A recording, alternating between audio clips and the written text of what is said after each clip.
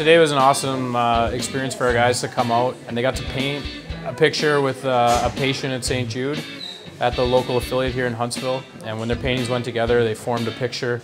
Um, and it, was just a great experience for our guys to come out and get to interact with some of those kids who are obviously going through a lot of issues in their life. And you know, our guys are fortunate they get to play they get to play a game for a living. So uh, to be able to interact in the community like this, it's uh, it's something that they don't get to do often. But when they do, they uh, they sure do a great job. So it was really cool today to, to get to see the kids and the players interact and uh, a lot of smiling faces. Painting with the kids was actually really fun. They uh, seemed to really enjoy themselves and uh, just seeing them laugh and smile, I think it made it fun for the rest of the guys too. I think the best part about today was uh, you know, coming to do something that we don't regularly get a chance to do. Uh, spend some time with some kids too, so that was a lot of fun.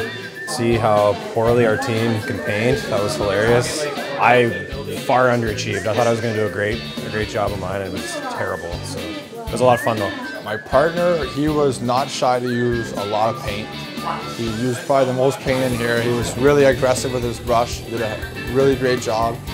Mine was, you know, it was it was okay for uh, for my skills. You know, not as good as everyone else on the team, but I'll take it for what I thought it was going to turn out to be. I think we're really lucky in Huntsville where we get an opportunity to, to play for some great causes. So it's something we always have circled on the calendar, and, and we know the importance of those games. You know, it far exceeds uh, a win or a loss. There's know, there's a lot of great things that we can do for some people in the community, so it's, uh, it's a big deal to us. At our game on March 3rd, all the paintings, the, uh, the kids and the players, there'll be a silent auction at the game in the lobby, and uh, all the proceeds for the auction will go towards research for, for St. Jude, and um, you know, it couldn't go to a better cause.